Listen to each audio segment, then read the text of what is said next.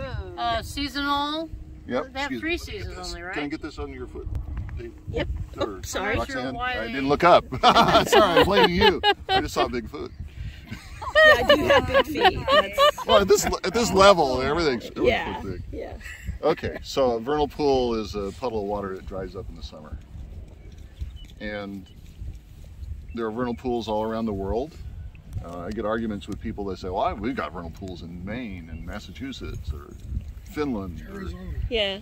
places. And they do, but the ones in California are different because from the, although we're looking at critters, it's from the botanical diversity. Um, we have some unique conditions here that you don't see anywhere else in the world. And the second best place for vernal pools with plant with spe- special plants is Chile, Oh. um, Oh, which has interesting. Mediterranean climate. Okay, the uh, yeah, Roxanne, you've heard all this That's okay. Uh, probably several times. I do. Uh, I the do- more do often I hear it, lectures the at more the, chances I, it the naturalist sticks. class. Yeah, you gave a great talk. Chile has 10 to 15 unique plants that are special to vernal pools. Uh, in California, we have well over 200.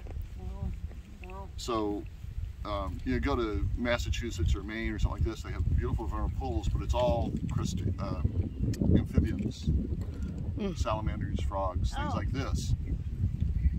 Here we have the Mediterranean climate, so it dries up in the summer and you have cool, wet winters.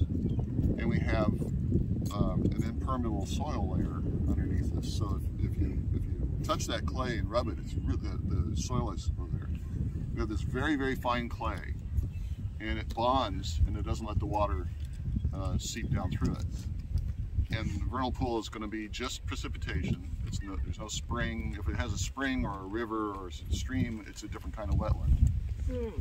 So all this water out here is just rainwater That can't soak in. that can't soak in. And actually, it, a lot of it came from these uplands up here, where it's slow. The, there's a slight slope here, so it drains from these uplands down here. All these areas with bright colored flowers and uh, virtually, essentially no grass, significant grass. Those are all vernal pools, also. Mm.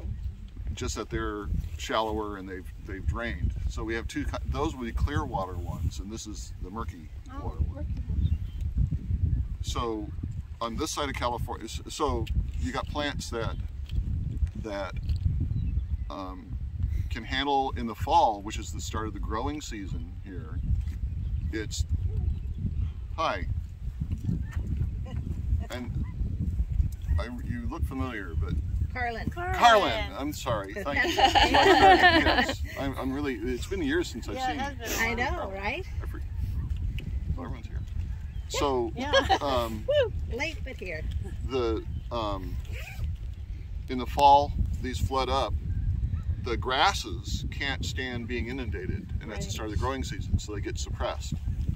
Then the vernal pool plants actually can start growing un- even underwater. Uh, some of them get have leaves that float on the surface of the water and and get their air from that. Some of them have hollow stems that stick up and get air down to the roots. Some of them can just absorb air, the gases from the water directly. So then when these dry down, the grasses, okay, it's start to get going, but the vernal pool plants are already, have already started. Then they grow, um, they're mostly annuals because why be a perennial? Because it's going to be totally dry in the summer. They're very short and they have a high ratio of flowering surface to plant surface to leaf surface. So, which is why you get the, the big mat, and they tend to they tend to be synchronized as far as when they bloom. Uh, this year is a little weird because I'm seeing early and mid flowers out here. It's it's, it's just this is a really weird year. Uh, plus, a lot of this lighter yellow stuff is actually a grassland plant, um, which normally wouldn't be growing in the vernal pools, but it's been so dry. Wow. Um, the um, so then it dries up, and they're, they're you know the a lot of the grasses and things can't survive being desiccated. So you have to have a plant that, that can stand being inundated and desiccated. The soil here is very alkaline, so that's another. issue. Oh. The soil on this side of, of the valley, uh, basin rim formation. The um, plants grow short because why grow a long time? Because it's going to dry up Um, they don't have big seed dispersal mechanisms because they're in the right habitat. Why disperse your seeds out of that habitat? Of course, they're And so they usually just drop carried by ducks, though.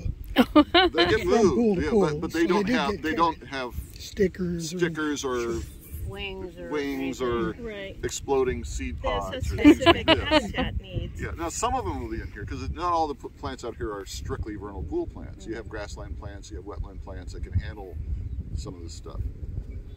Um, this side of the valley, the west side, they're clay soils, the clay pan. We have, we think we have probably 10% remaining of what was here, here historic in the Central Valley. Oh wow. because if you come in there and put a, a orchard or a or a, a building, you're doing you're digging a hole. You break that that impenetrable layer, and the water doesn't s- post up. So you can't really mitigate a vernal pool. Well, they're trying. Um, I, I know some places. There's there's a place. Most the successful ones are the, are, are are reclaimed pools. Um, about seventy thousand dollars per acre for a reclaim project down in uh, Merced area, Wow. where it was an orchard. Well, where there was a you get these rolling hills and they tuck the tops off the high parts and dump them in the low parts to level it for the orchard. That was in the 40s. They didn't do have deep. They couldn't do deep ripping, so they didn't break the layer. So they're doing soil horizons, taking the the topsoil out, putting it back on top, and excavating it, and they're going to see how that goes. Oh wow, that's Um, interesting. Grasslands Regional Park, south of Davis, Right. um, was dryland farming, and there's vernal pools there. Uh, dryland farming in the 1800s, and they they you got all this mucky stuff. It's not any good for for your farm, so they leveled them out. And then it became a military facility for Air, Air Force Base for the radar.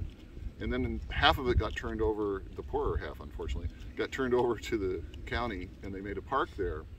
And they decided uh, to reclaim some of these areas, and they did soil profiles, and they carefully took the, the topsoil out. And, and the problem is that you go out there and look at it, and I didn't realize it was reclaimed the first time I saw it. They're perfectly oval, and there's five of them in a straight line. Oh, So, And then they replanted the trees. No, that was off this. That wasn't in the vernal. That Not wasn't in the re- road, not but the next to it, Yeah. in a perfect grid. Yeah, the, oh. they Come put on. it, yeah, they put in Valley Oaks and didn't water them, and the Valley Oaks are really cool. It's a great dog park. It's a really good. It's now it's now a dog dog run. park. It's the Oh. best dog run in Davis. the other side of the valley, um, the soil, the impenetrable layer is um, hard pan, which is a silica iron type of thing. Mather is a good example. Um, those are acidic instead of alkaline, like here. So you get a different set of plants when you're there versus here. Oh, interesting. And that's mostly Yeah. East Valley. Now those we figure there's about 20% remaining, although given what they're doing in Roseville, I think we're, Yeah. Yeah, we're it's losing that. fast. Yeah. Roseville used to have quite a few that were uh, on Mehrten Formation volcanic ash. Also. Okay, then that, that is, you get up more to Chico, that's the third one. Yeah, they have those in Uh, over there too, They've okay, Vina most of them, Plains, but- North Table Mountain, these, some of these areas, uh, vol- ancient volcanic mud flows. And those are vernal pools Super also. They tend, to, be- they tend to be the youngest ones. You have different, yet again, different sets of plants there. 'cause the oldest ones are the ones on that side of the valley. These are middle ones, and then the volcanic ones are the newest ones. So the evolution is a little different. So you get In geologic plants. In geologic terms, yes.